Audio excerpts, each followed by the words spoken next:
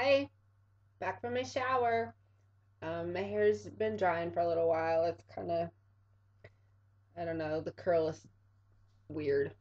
Um, so I got Herbal Essence Naked Free from Influence Box Influenster for my review. I don't have to review it. I'm not being paid to review it. So there's a stupid disclaimer.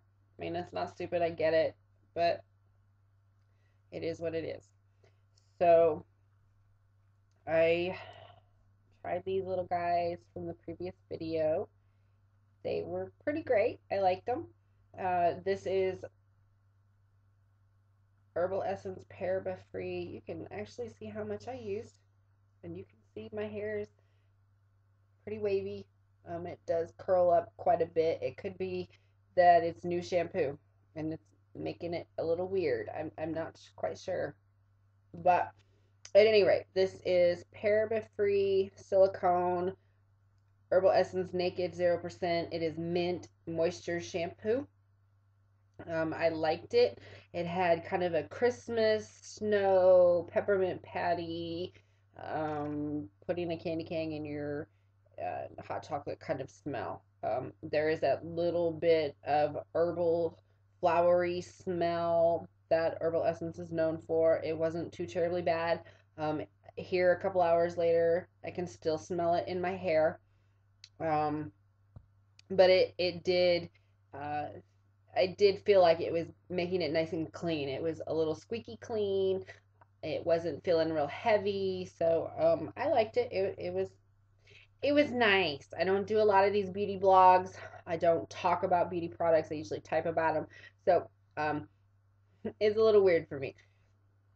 The conditioner, I felt like I didn't have to use a whole lot, which was great.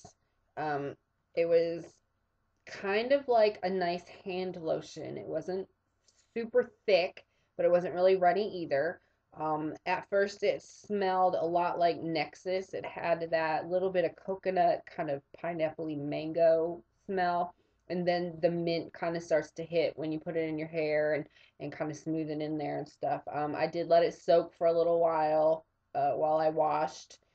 And when I got out of the shower, it still had a really nice smell. It, it felt really nice. Um, it was soft. My, my hair didn't feel sticky or anything like that. Um, I did comb it out. I did put my Tresemme Nourishing Milk in. Um, and now, I, I, I don't know. I, I don't know that it feels, it's soft, but my hair is always soft. Um, it's not quite as curly as it usually is. I don't know if that's just me because I've had to do this video I don't know how many times and I keep messing with my hair. Um, I don't know if it's just this shampoo because you know when you switch your shampoo sometimes your hair reacts differently to them. Um, so it could be a couple of different things. So I think these products are great. I do like the Clairol Herbal Essence Naked with mint.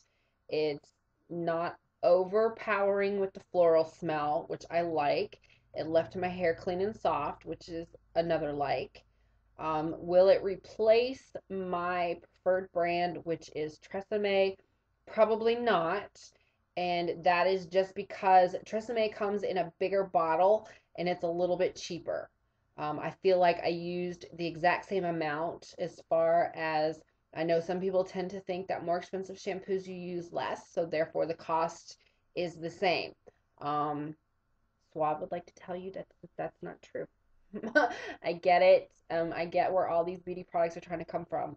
For me personally, if I had a coupon or if this happened to be on sale one day, I may get it um, just because it has, I do like the smell. It had a neat smell to it.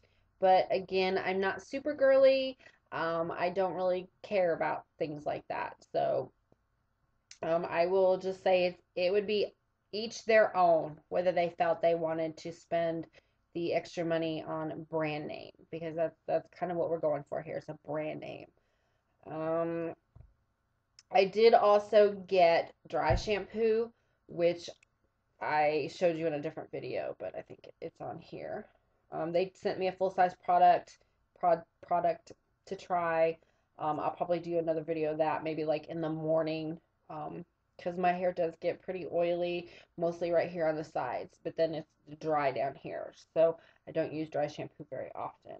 But um, yeah, I liked it. So, you know, would I recommend you try it? Sure, if you're in the market for a new a new shampoo. So, um, I don't think it's overpowering in the moisturizing department though. That's kind of my only my only thing. The shampoo that I use is a has a bit more moisture. So, I'm just gonna kind of go from there.